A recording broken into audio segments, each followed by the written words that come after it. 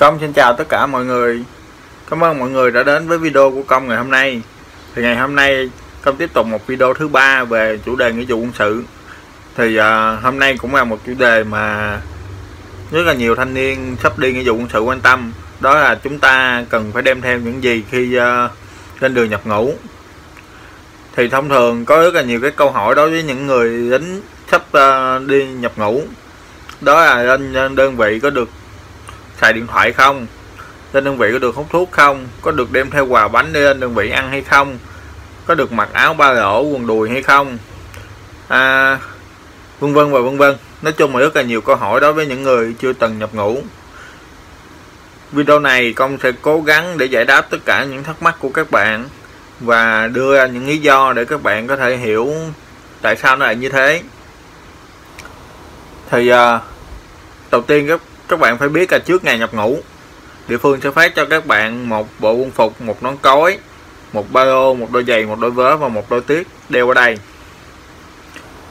Thì à, đối với chúng ta khi mà chưa nhập ngũ chúng ta sẽ nghĩ là những thứ đó không hề đủ để à, sử dụng trong thời gian 2 năm.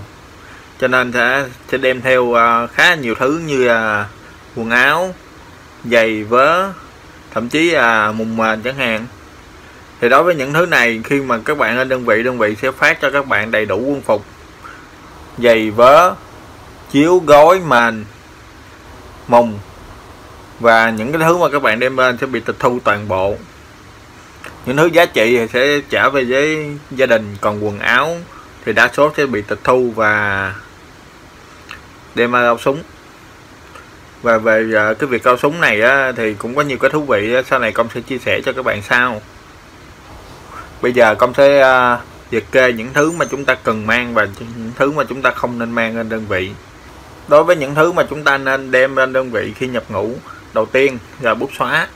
Cái này quan trọng. Bạn phải có bút xóa để bạn đánh dấu quần áo và các thứ mà của các bạn để tránh bị mất. Khi các bạn không đánh dấu thì lúc mất các bạn sẽ không thể tìm được đâu. Ít ra thì khi đánh dấu nó sẽ giảm khả năng bị mất của các bạn và cái thứ hai đó chính là bàn chải đánh răng.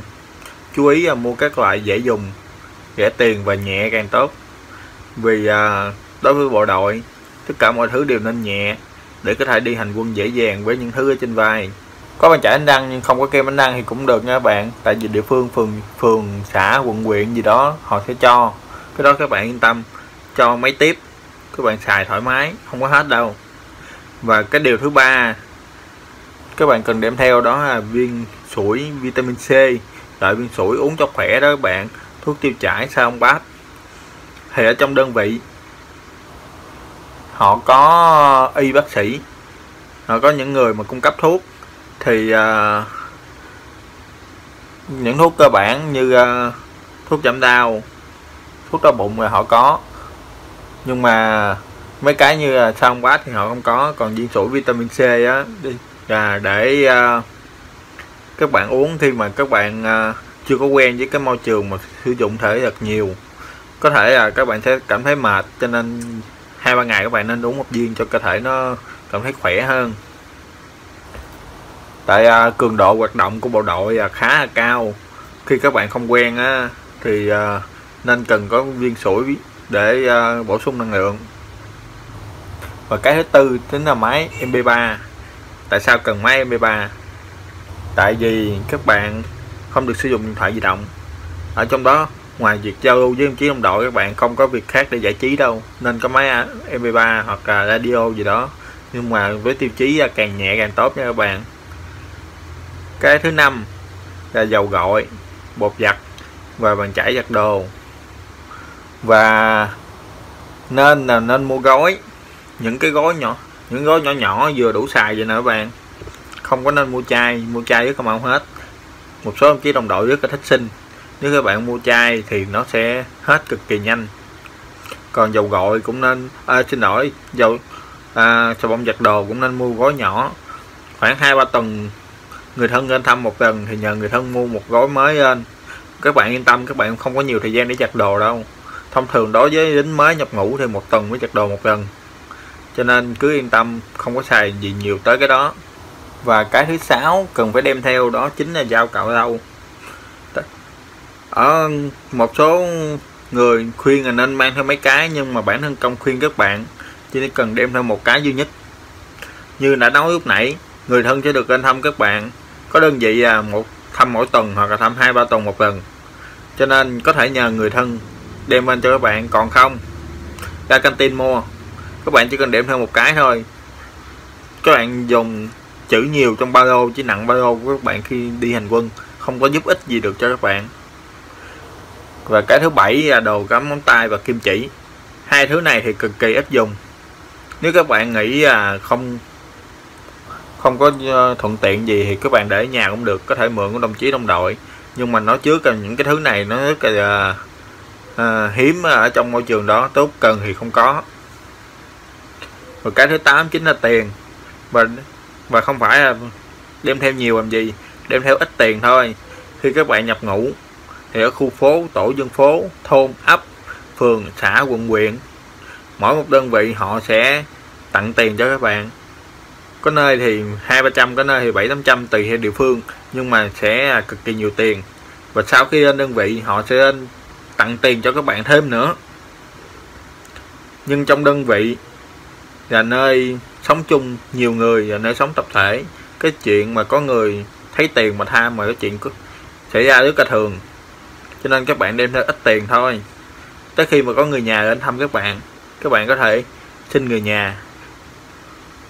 Chứ các bạn đem theo nhiều tiền, khả năng mất của các bạn rất là cao. Và thêm một chuyện nữa là mỗi tháng chúng ta sẽ được nhận phụ cấp ở đối với uh, tân binh mới nhập ngũ bây giờ thì khoảng 600 ngàn một tháng. Đối với trong uh, ở trong đó thì 600 ngàn là đủ nha các bạn không có thiếu đâu. Nên các bạn yên tâm đừng có nên đem theo nhiều tiền làm gì. Và cái cuối cùng các bạn cần chuẩn bị đó chính là chuẩn bị tinh thần. Cái này rất là quan trọng. Vì thời gian đầu nhập ngũ bất kỳ ai cũng sẽ bị sốc uh, tâm lý vì thay đổi hoàn cảnh và phương pháp sống nhớ nhà nhớ người thương là việc chắc chắn không tránh khỏi. Kinh nghiệm của công thấy trăm phần trăm bính mới chắc chắn sẽ bật khóc trong tuần đầu tiên. Thì đối với các bạn mà đã coi coi video này thì chắc là đã đậu nghĩa vụ quân sự rồi trên đó và đang tìm kiếm thông tin để có thể uh, đỡ ngỡ ngàng. Nhưng uh, đối với việc này thì có lẽ các bạn không muốn đi cho nên cần phải chuẩn bị sẵn tinh thần và tâm lý trước. Các bạn nên chúng ở việc ở nhà có việc gì thì uh, giao lại cho người nhà. Công việc thì xin nghỉ lên tinh thần cho người yêu rồi sau đó là an tâm đi đến. Không thì do trong đó các bạn có thể sẽ bị sốc một thời gian. Vừa rồi à, công vừa hướng dẫn các bạn về những thứ mà cần phải đem theo và bây giờ công sẽ hướng dẫn cho các bạn về những thứ không nên đem theo thì à, điều đầu tiên đó là điện thoại di động. Điện thoại di động là thứ cấm tuyệt đối. Vừa các bạn có đem theo thì ở đơn vị các bạn cũng sẽ bị lục quần áo. Khả năng chót lọt qua cái việc đó nó khá là thấp. Thậm chí là khi mà các bạn có thể qua được cái việc đó thì các bạn cũng không có cơ hội để xài đâu các bạn. Thời khóa biểu trong đó cực kỳ sát và cũng không có ổ điện cho các bạn sạc. Cho nên các bạn đừng có suy nghĩ tới việc đem điện thoại lên làm gì điều thứ hai đó là hút thuốc lá. Đối với chiến sĩ mới là cấm tuyệt đối. Nhưng mà thuốc lá thì lại dễ giấu hơn điện thoại di động cho nên khá nhiều đồng chí đồng đội có thể giấu được. Đối với việc này á, thì sau khi giấu được thì thông thường khi thèm chúng ta sẽ hút. Và khi hút sẽ có mùi. Chỉ cần đơn vị phát hiện được thì sẽ phạt các bạn. Không phải phạt các bạn đâu phạt cả tập thể. Và lúc đó các bạn đừng có trách sao và mọi người ghét các bạn còn đồ, đồ ăn đóng hộp thì được phép sử dụng nhưng mà cũng khuyên các bạn là đừng có đem theo làm gì. Vì à, có thể là các bạn chưa được ăn tới cái đó đã phải dắt ba lô đi hành quân. Những cái đồ ăn đóng hộp đó sẽ làm cho ba lô của các bạn càng thêm nặng. Những lần đầu mà đi hành quân mà bếp ba lô nặng thì à, cực hình đó các bạn nên nhớ còn có cây súng nữa. Có thể à, tới 20 kg hành lý nha các bạn các bạn nên à, làm quen với đồ ăn ở canteen hơn là đem đồ ăn của gia đình lên. Nếu gia đình có lên thăm và đem đồ ăn lên thì hãy ăn hết trong ngày chủ nhật, đừng để qua ngày, nặng ba lô các bạn. Và cái thứ tư à, cái rất là nhiều người đem theo đó là nước rửa tay, sữa mặt, răng nách, xịt khử mùi. Những thứ này thì à, đối với các thanh niên điệu đà thì sử dụng rất là nhiều. Nhưng mà nó cực kỳ dễ mất nha các bạn vì những cái thứ này phải sử dụng hàng ngày các bạn sẽ để ở bên ngoài ba lô và những nơi đó chỉ cần thò tay nhẹ là có thể mất ngay.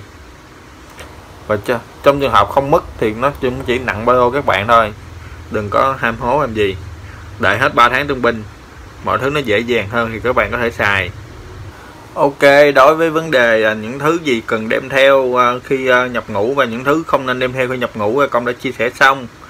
Thì công chỉ có thêm một lời khuyên là đối với các bạn trước khi anh nhập ngũ, bạn nào chưa từng làm việc nhà thì nên tập dần đi các bạn.